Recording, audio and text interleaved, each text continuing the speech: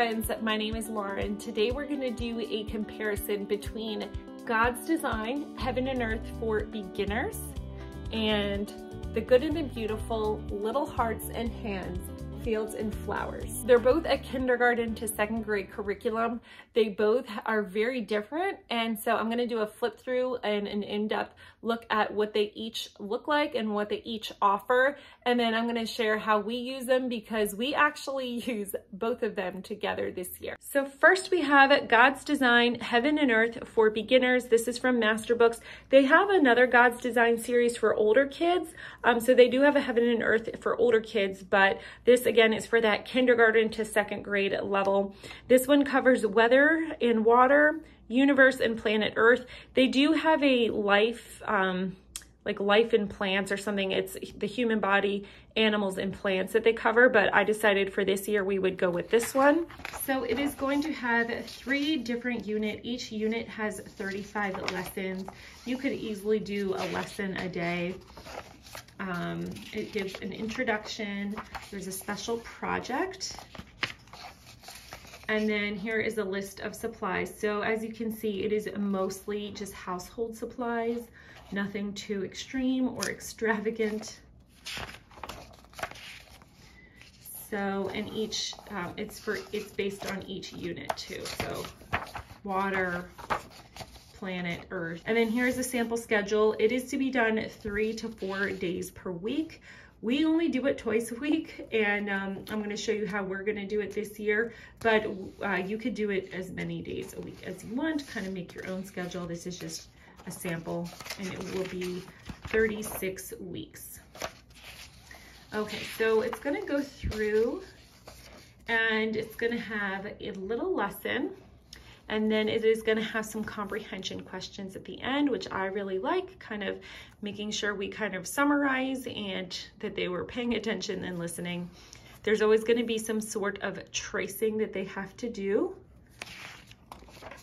And then there is usually some sort of either hands-on activity or written activity. And uh, my daughter, my youngest one in first grade, she really likes to do both. So this is perfect for her. So she could um, fill in the missing letters and then trace that and then match it the summer, the word to its picture season. I actually had not been making her do the handwriting or the tracing rather, but now I have recently started with that. So again, it's gonna have some little, um, it's gonna have a little paragraph.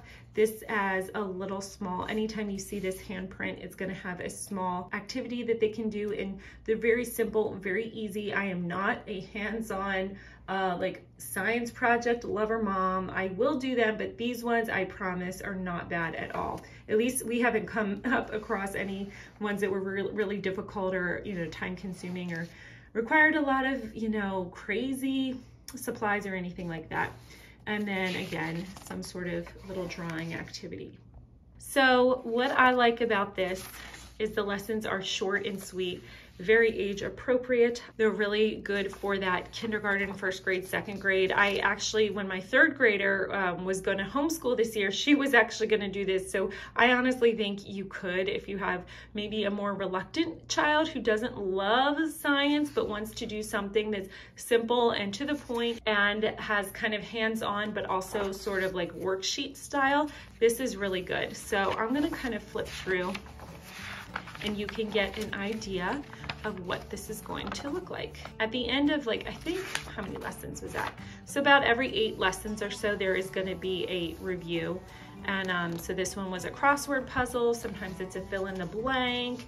It just depends, but it kind of just summarizes the last eight lessons. So this is really fun too, because you can kind of go back and see like what has actually retained. And as you can see, I mean, there's definitely a variety of things that they're learning about. Uh, it does not go in very deep. It's not gonna get into a whole, you know, extreme, but you know, in first grade, how deep does their science really need to be? Like, let's be honest here. See, here's that review. We're not there yet, but this one will be like a fill in the blank. So I'll just kind of do a flip through so that you can get an idea.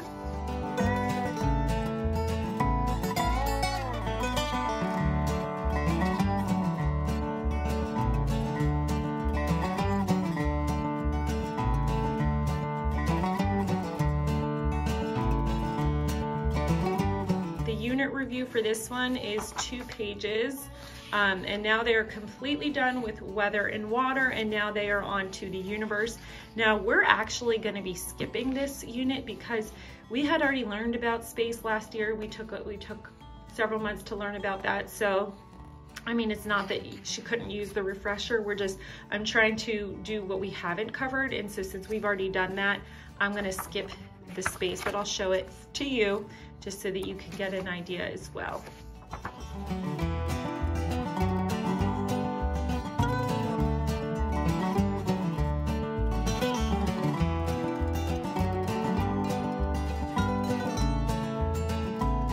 So there's no tests, there's no quizzes. You can, um, you might, if you want to, if you have to test or something for some reason or have to submit grades for your state, you could always use the unit reviews. Um, that would be a good option to have. But otherwise, it's a pretty, um, I feel like it's more relaxed and laid back program. Okay, so now we have finished up with um, space and then they're gonna finish, the last unit will be planet Earth. So they will do earth science.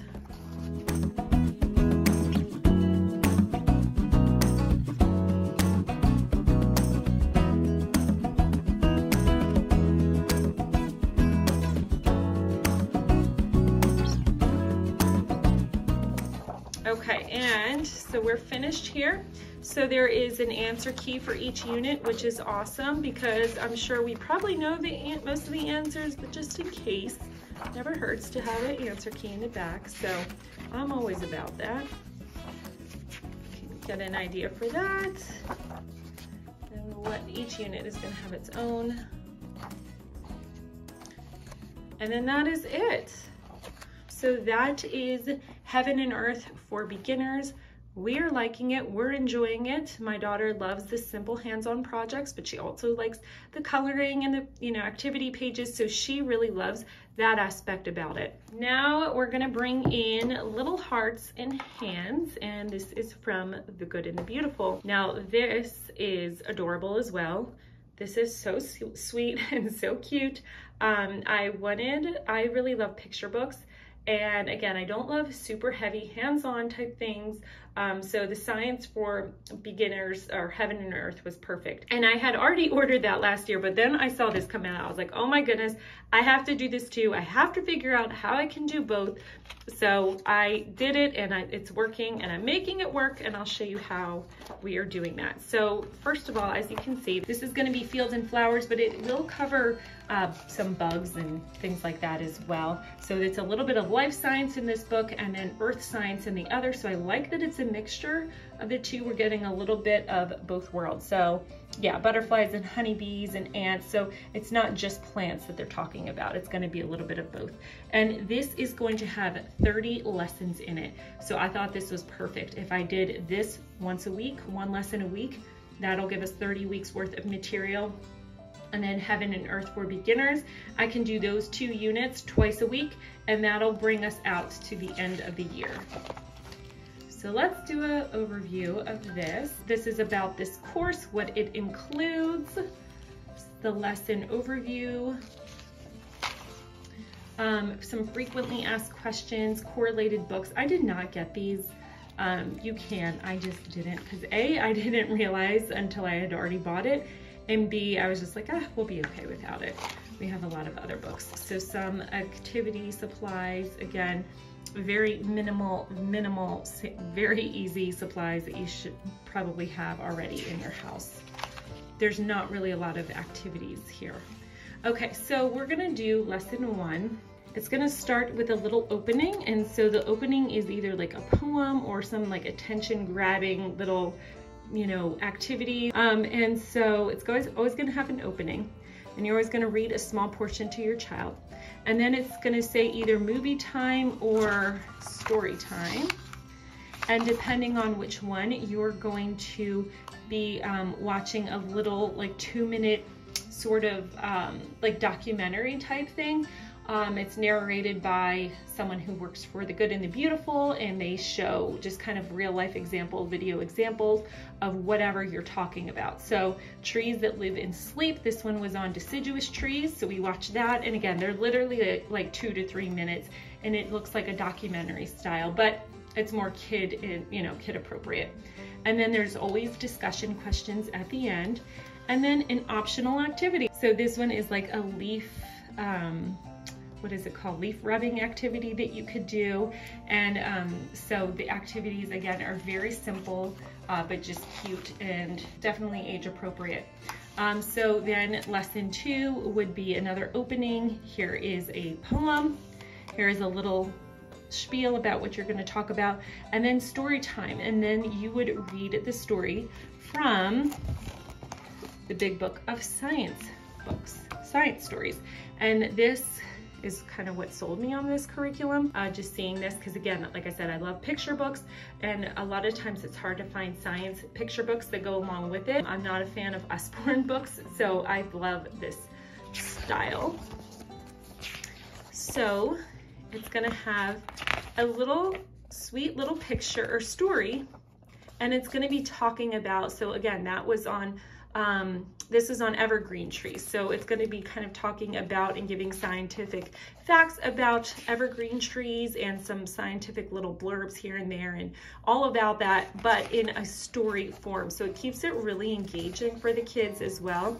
And they're not super long so that was it, and maybe like seven or eight pages. So here is kind of an overview of what the picture book is going to look like. Um, and it's gonna alternate between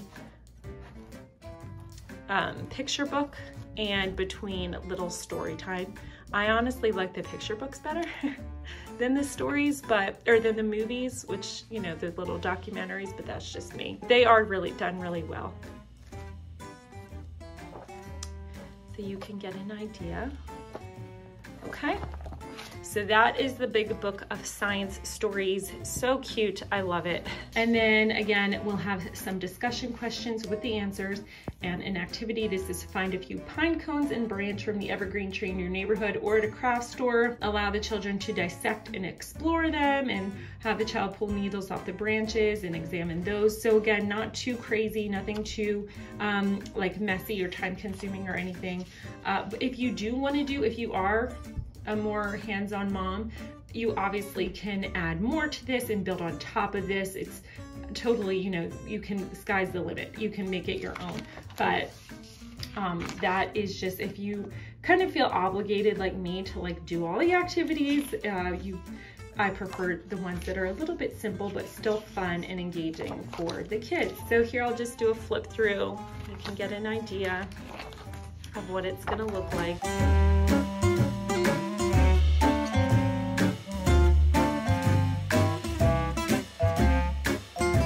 Will definitely say this is certainly more if you have a younger child and you're debating between the two. Uh, I would, my, and you can only choose one. This one might be a little bit better for a younger child. Again, they both can, well, this one might be just a smidge easier for like a kindergartner. Um, not that the other one isn't great, it is.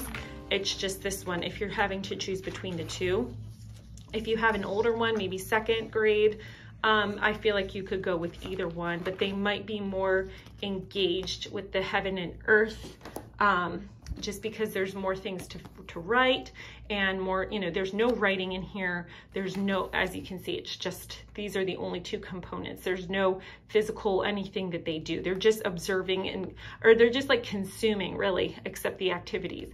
This one, they're writing more, they're doing a little bit more, more projects and they're doing, um, more activities as far as like word searches and crossword puzzles and fill in the blanks and and tracing the words and verses and things like that. So if you're again, I think they're both totally appropriate for either age, but if you're trying to decide between the two, um, those might be something to just consider. And that is pretty much it. Um, they're both really good. We love them. I love doing science with my daughter. She loves to do this. Uh, she really likes science and she likes to do both of them. She never complains or anything. She just listens and she actually does absorb quite a bit. So in my opinion, definitely both get a thumbs up. As I always say, hopefully you found that helpful and that you were able to get a better picture of what they look like and kind of have a direction of if you want to use one of these programs. I really love both of them for different reasons and I love doing them together. It has worked really, really well for us. You, of course, don't have to. This is just what works really well for us and for our homeschool this year. If you like this video, please make sure to give it a thumbs up. Also, leave a comment if you have used either of these or if you've used something similar that you would like to recommend as well. I always love looking at different curriculums, so I'd love to see what you use. If you're interested in yet another science, I have an Abeka second grade curriculum that I did uh, flip through and review that I did. I will link that right here so you can go check that out. Thank you so much for your support. I hope you have the best day. I will talk to you soon. Bye-bye.